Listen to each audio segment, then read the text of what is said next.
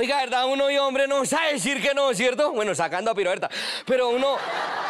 ¿De verdad uno y hombre qué pecadito es tan fácil que uno no sabe decir que no, ¿cierto? Nomás lo llama a uno un amigo, ¿qué? ¿Cómo le ha ido? Y uno bien, nomás de al fin compró la casita y uno sí, gracias a Dios, ya, ya la pagó ya, bendito, la liberé del banco. ¿Me puede servir de fiador?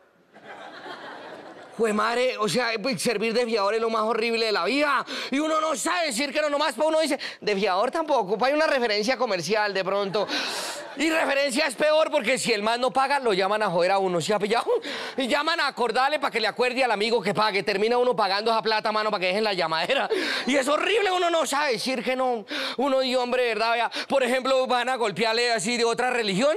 Y si es una mujer, es que no ella abrir de otra. Ay, no, muchísimas gracias, muy amable. Uno y hombre, que apa y media hora hablando con esa señora. Y no, sí, ya nos fuimos para el infierno, la madre, ya. Uno y hombre no sabe decir que no, ¿cierto? Uno y hombre, por ejemplo, uno no sabe decir que no. Uno, por ejemplo, no sabe decirle que no a esas muchachas que vendan muestra gratis en los supermercados. Hoy que se ponen unos vestidos del producto que, anuncian chiquitico así, que dice, consumas en el menor tiempo posible.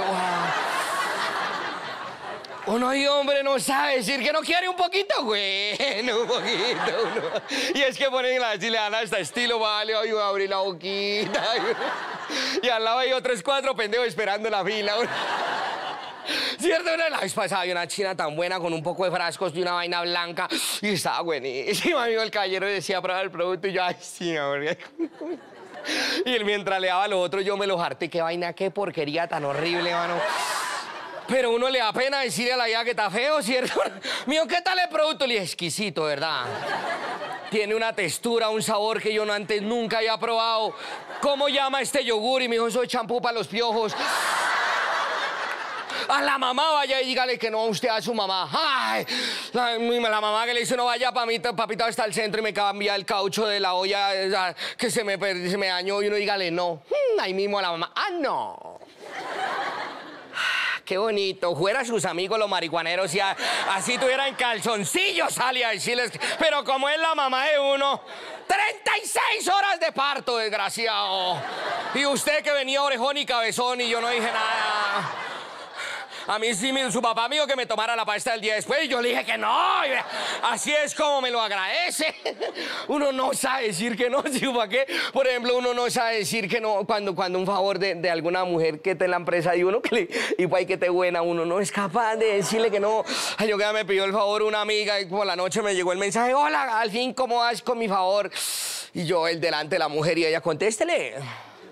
Contéstele yo, hola, linda. ¡Ah, linda! ¡Qué belleza, linda! Le hicimos linda. Yo, mamita, es linda Palma, la, el programa. Dijo, pues dígale hola Palma, ¿por qué le tiene que decir linda?